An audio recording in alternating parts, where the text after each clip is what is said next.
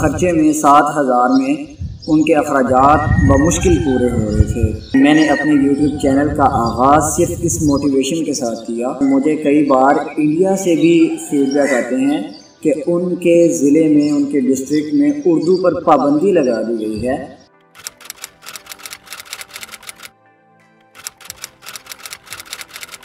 बसमीम 2016 की बात है कि मैं जब एक अकेडमी में पढ़ाता था और अकेडमी इंतज़ामिया ने अकेडमी के बाहर एक फ्लैक्स लिख कर लगाई कि यहाँ पर गरीब और मुस्तक बच्चों को मुफ़्त तालीम दी जाती है।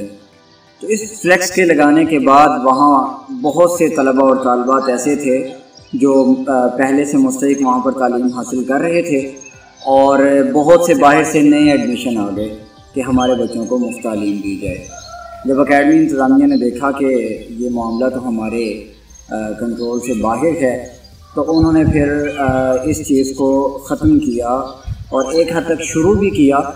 अब मामला ये था कि जिन बच्चों को वो एडोप्ट कर चुके थे इस पैकेज के लिए या इस डील के लिए तो अब उनको निकालना मुश्किल हो गया। बहुत से बच्चे पढ़ने वाले थे अब वो रिज़ल्ट देने वाले थे तो अकेडमी ऐसे बच्चों को कहीं नहीं जाने देती। तो इन्हीं बच्चों में से जिनको अब वो अकेडमी से निकाल रहे थे कि अपना बोझ हल्का करने की कोशिश कर रहे थे एक बच्चा, मैं उसका नाम नहीं लूँगा, शायद मेरी वीडियो देख रहा हो।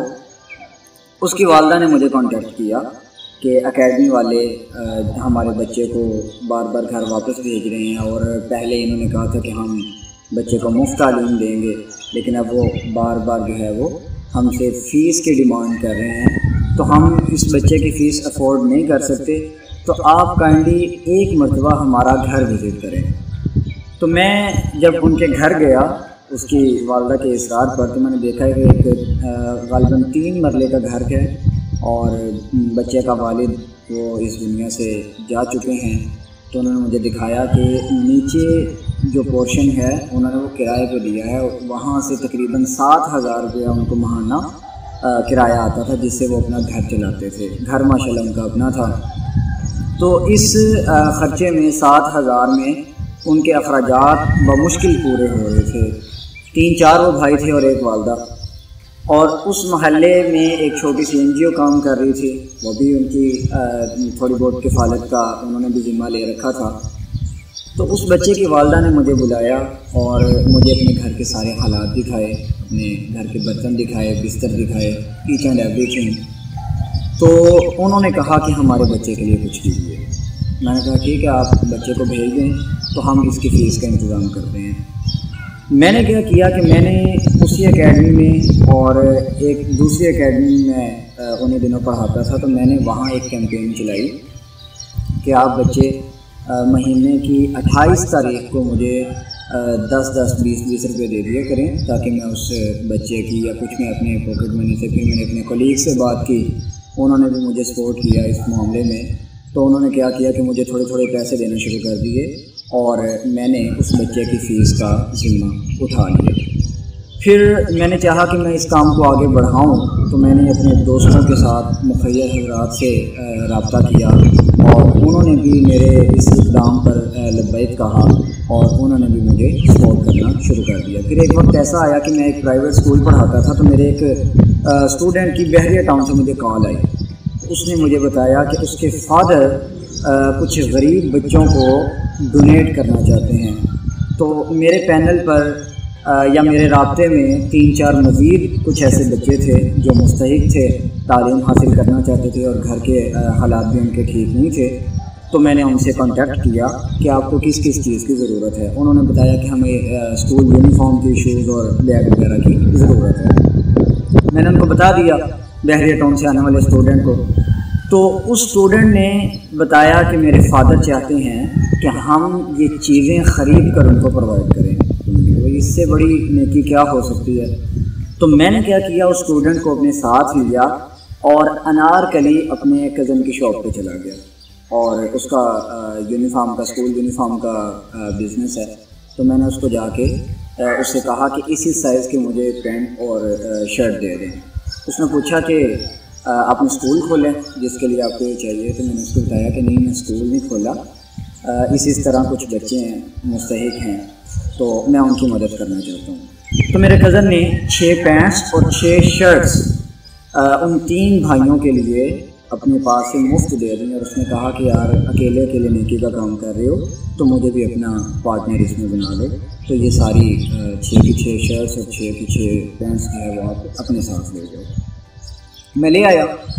अब हमारे पास पैसे ज़्यादा थे कि अभी हमें शूज़ ख़रीदने थे, उनके बैग और उनकी बुक्स ख़रीदनी थी तो मैं वापस अपने इलाके में आ गया और यहाँ मेरे एक और स्टूडेंट के फादर की शॉप है शूज़ की। तो मैं वहाँ आ गया और फिर मैंने क्या किया कि उन दो बच्चों को, उनमें से दो बच्चों को मैंने इस शॉप पर बुला लिया, क्योंकि वो भी करीब रहते थे तो मैंने उनको बुला लिया और मैंने जब उसको डिस्काउंट करने को बोला तो उसने कहा कि, सर, आप फ्री ले लें मैंने फ्री वाली तो बात नहीं है। आप जितना कर सकते हो, आप कर दो, ताकि किसी की मदद हो सके। जब उसने लफ्ज़, मदद सुना मेरे मुँह से तो उसने पूछा कि, क्या मामला है? मैंने उसको सारी सिचुएशन बताई तो उसने भी कहा कि, सर, इस सारे खैर में इस नेक काम में हमारा भी हिस्सा डाल लीजिए और मैंने बहुत कोशिश की उसको पैसे देने की, लेकिन उसने पैसे नहीं लिए और वो इस बात पर मुसर रहा, इसरार करता रहा कि आप भी इस नेक काम में हमारा हमें भी पार्टनर बनाएँ और अगर मुस्तकबल में भी कोई ज़रूरत हो तो आप हमसे रबता कर सकते हैं। इसके बाद हम बैग वाली दुकान पे गए और बैग वाला भी इत्तेफाक से मेरा वाकिफ़ निकल आया। उसको भी मैंने सारी सिचुएशन बताई तो उसने बैग की कीमत नहीं ली। इसी तरह बुक्स की स्टोरी है। तो एक गरीब और मुस्तक बच्चे की जब हम मदद करने लगते हैं तो दरअसल वो हम मदद नहीं करते, वो अल्लाह ताला मदद करते हैं और हमें एक सबक और एक ज़रिया बना देते हैं।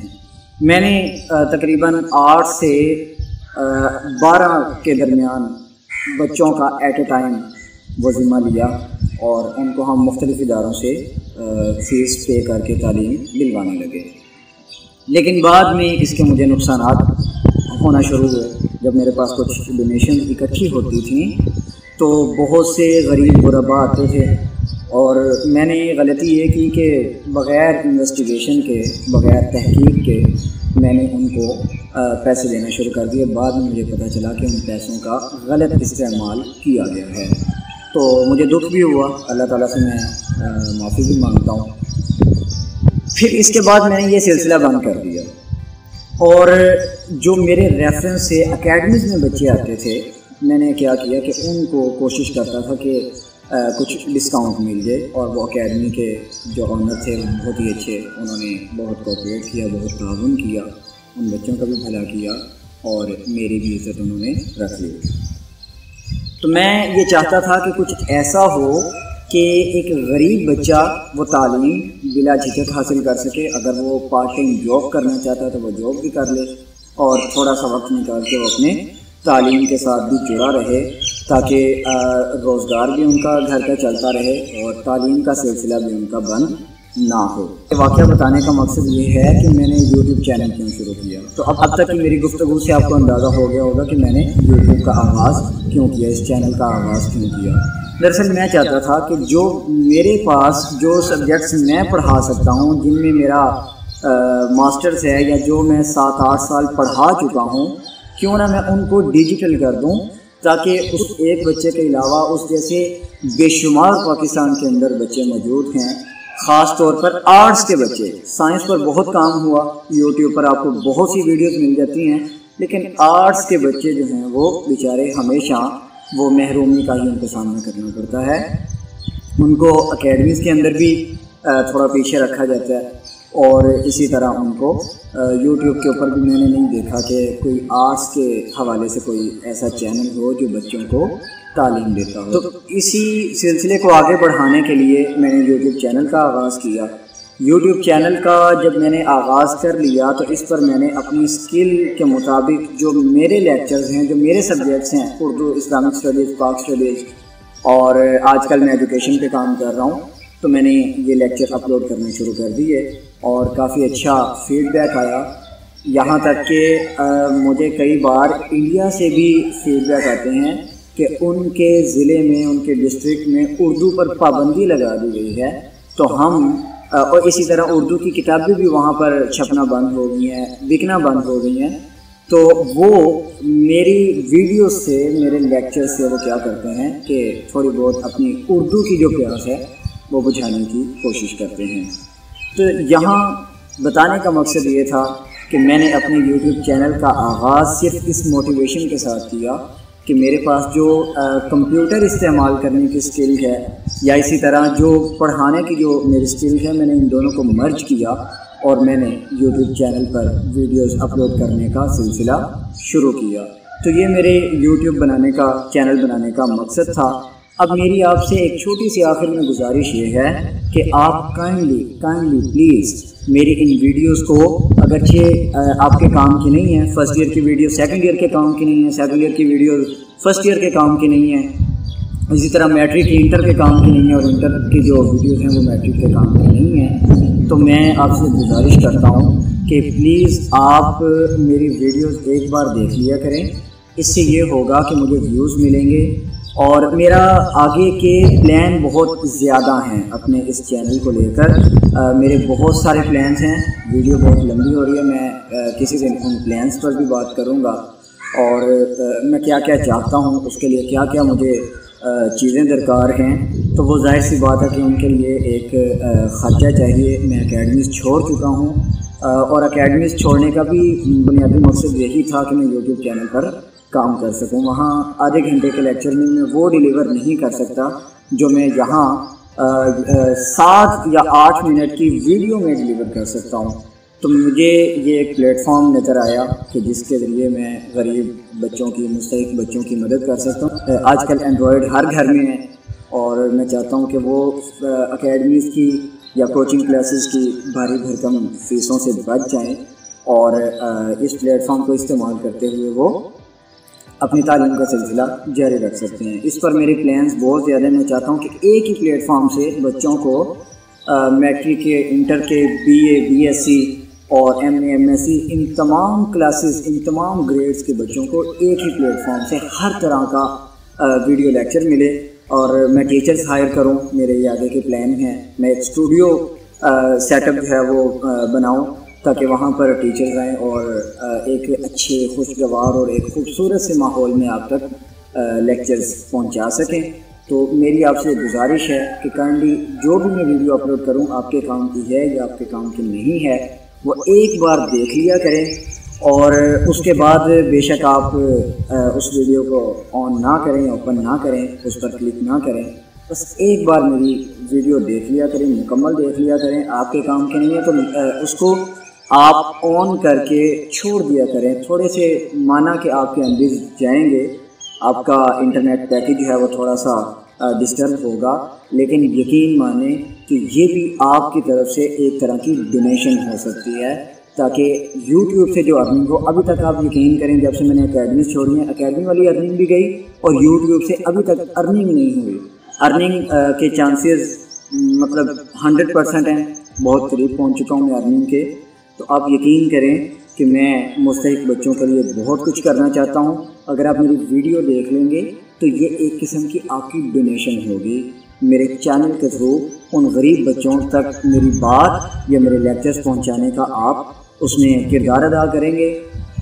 और जो मैं आगे अपने प्लान्स को लेकर इस चैनल को आगे बढ़ाने वाला हूँ उसमें भी आप मेरी इस तरीके से मदद कर सकते हैं। आपको किसी किस्म के कोई गैस, कैश अकाउंट, कोई इजी पैसा अकाउंट, कोई एच कोई यूबीएल, किसी में कोई पैसे भेजने की ज़रूरत नहीं है। अभी भी अल्हम्दुलिल्लाह कुछ गरीब और मुस्तक बच्चों को हम डिफरेंट जगहों से तालीम दिलवा रहे हैं। तो आप सिर्फ़ इसी तरीके से मेरी मदद कर दें कि आप पूरी वीडियो मेरी देख लिया करें, ताकि जो मुझे व्यूज़ के ज़रिए या जो आपके इम्प्रेशन या लाइक्स के ज़रिए जो मुझे अर्निंग होगी मैं उसे आ, अपने चैनल पर टीचर्स को हायर करके उनको पे दे सकूँ उनके लेक्चर्स अपने चैनल पर अपलोड कर सकूँ और गरीब और मुस्तक बच्चों का भला कर सकूँ। मैं आ, आपको अपने स्टूडियो का सेटअप भी दिखाऊँगा और आपको अपने प्लान्स भी बताऊँगा। वीडियो बहुत लंबी हो चुकी है और फ़िलहाल आप मुझे इजाज़त दीजिए। अल्लाह हाफिज़।